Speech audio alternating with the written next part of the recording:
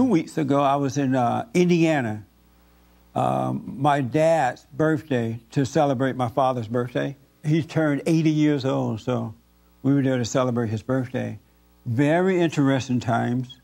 Learn a lot. Um, had a lot of opportunities to resent, but I didn't.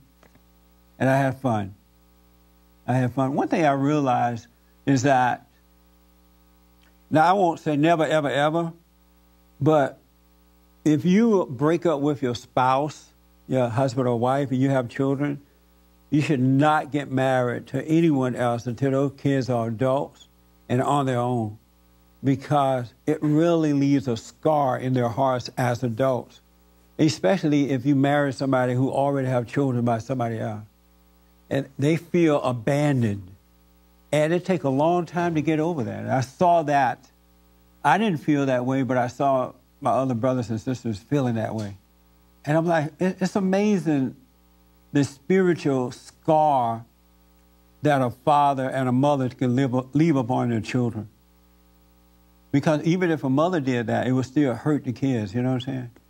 And I saw that, and I'm like, wow, that's amazing to see that, the spiritual impact that our parents can have on us because we are a spirit and we're impacted spiritually.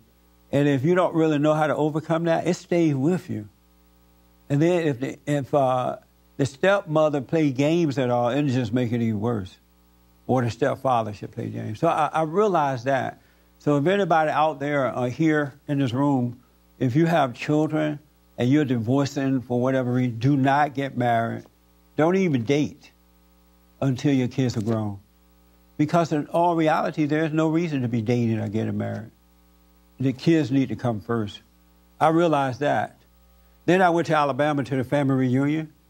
And uh, when some people heard that I was coming, they set up some speaking engagement for me while I was there. Uh, well, the first thing that happened is that I hosted the family reunion. I, I was surprised that I was able to do that or allowed to do it because in my family, up until that time, I thought I was the only Republican. So uh, I had uh, Huckabee was there as well, right down the hall. The Republican Party of Eufaula, Barbour County, down in Eufaula, Alabama, was hosting Huckabee. And they had asked me to speak there too, but I couldn't because of the reunion thing. So what I did was I told my family members when I opened up the our event, I said I was invited to speak at Huckabee's event right down the hall, but since this was happening, I couldn't. But I told them that I'm going to register my entire family as Republicans when the reunion is over. and they go, oh, shut up they were getting all mad just from that. and then when they got mad at me, I said, Oh, I, I love and Democrats. They can't take anything. that didn't help it either. Move on. They were like all upset. And at the end of the reunion, well, just before the end, I asked them to show their hands of any Republican in the House. Nobody raised their hands. But when it was all over, I had two cousins uh, who I had never met before, my first time meeting them, they secretly told me that they were Republicans, but they, they said there was no way I was going to raise my hand in this crowd. And so, so they were afraid to let my family member know that they were Republicans. Isn't that amazing? Uh, black Republicans are hated that much that even in your own family, you can't let them know that you are unless you're ready to deal with it. But I had a whole lot of fun messing with them. I just messed with them through the whole thing. And I had a hoot net. I had them laughing too. Had a lot of fun. And then I was invited to speak at a church in Midway, Alabama, in the city of Spring Hill. And it was an all white church. I used to pass that church every morning going to school on the school bus. And I remember looking out the window at that church. And I've never seen anybody go in and out of that church in the whole 12 years that I went past. I never saw one soul go in or out. And uh, I realize now maybe because it was Monday through Friday when I was going past it, past that, that uh, church. And they invited me to speak there at that particular church. And when my family members found out that I was speaking, they went off. They're like, don't do it. These people are racist. They would not allow you in there before. I'm not going in there. I don't tell them what they're going to do to me. They were, they were like really against it, and nobody went with me. You know, I was inviting them to go just for the fun of it. And this church has a lot of history because it, it, the slaves used to go there too. The white people sat downstairs and they had a balcony for the slaves upstairs to sit down and be a part of the service. They even have some uh, World War, no, they have some uh, Civil War soldiers buried there, unknown, unnamed soldiers buried there. And they'd have them buried on this tree. They plant these two trees at the time they buried the unknown soldiers, and the trees are tall, and they plant benches there so you can sit there. Sometimes have church service in favor of those guys, support of those guys. But a lot of white folks showed up, and they had a good time. They they they were inspired they looked at themselves and they understand better now what's going on with the races. So when they announced that I was coming, a lot of people showed up to that church.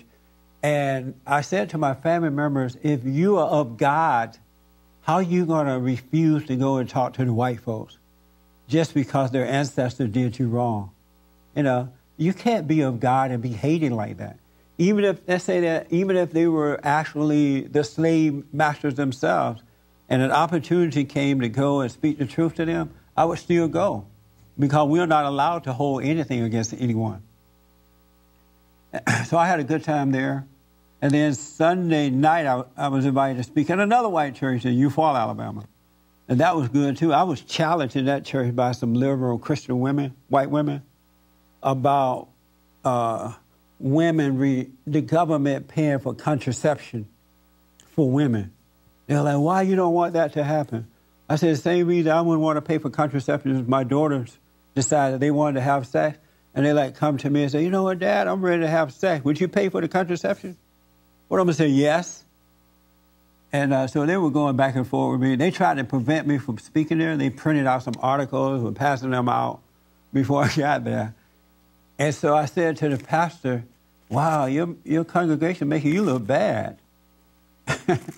but he knew about them already. That was fun. I had a good time there.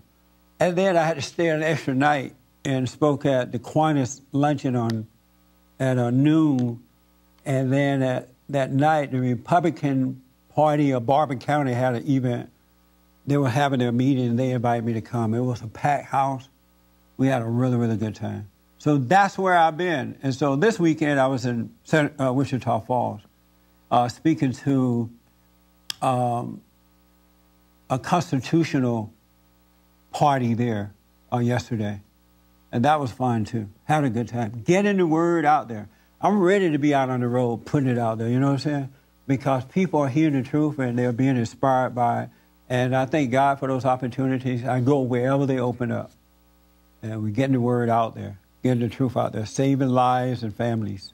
I had an elderly woman in Wichita Falls tell me that she came over yesterday at the end of the event, and she said to me, The last time you were here, you said in your speech, never to hate, always forgive, and that there is no reason to ever hate.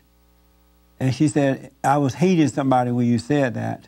And I said I was never going to forgive them. But when you said there's never a reason to hate, I realized I needed to apologize because I was wrong. And she said when she went to apologize, while apologizing to this person, she realized that she was more at fault than the person that she was hating, just simply by apologizing for hating. I'm like, wow, that's good. And that is the case a lot of times. It's more you than the person that you're hating.